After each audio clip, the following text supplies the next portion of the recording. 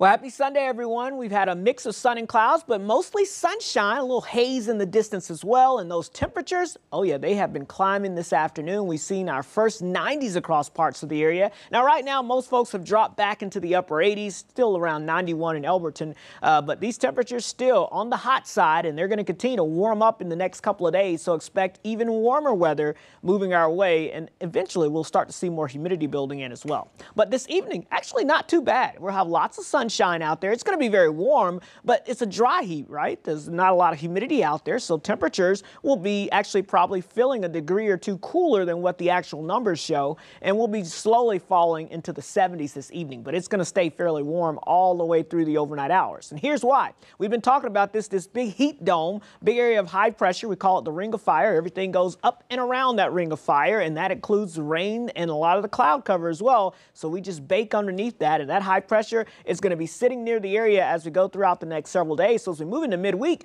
we're going to be talking about that 90 degree heat continuing to build out there, a very summer-like feel across the region. Take a look at the temperature trends. If you don't believe me, you can see this for yourself. We're talking lower 90s again for us as we get into our Monday. We're talking low to mid 90s for your Tuesday and Wednesday. And if you thought that was a little warmer than what we typically see this time of the year, well, you'd be correct. Look at that. The average high only in the lower 80s this time of the year. So we're way above average. Now here comes the problem with that high pressure sitting on top of us. It creates sinking air that calms the winds. There's nothing stirring the atmosphere up. So you get that very stagnant air in place. So we've had a few isolated problems with the air quality here over the past couple of hours this afternoon. But as we go into your Monday, I do want to give you a heads up. We're going to be seeing some poor air quality out there. We've got an air quality alert in effect, and that's going to be for those unhealthy groups there, the sensitive groups, you know, folks that have uh, struggles with that activity there. You'll want to make sure you limit your time outside. In fact, that air quality warning is in effect for the entire upstate and through most of central South Carolina as well. So this is a problem that we'll likely have for the next couple of days.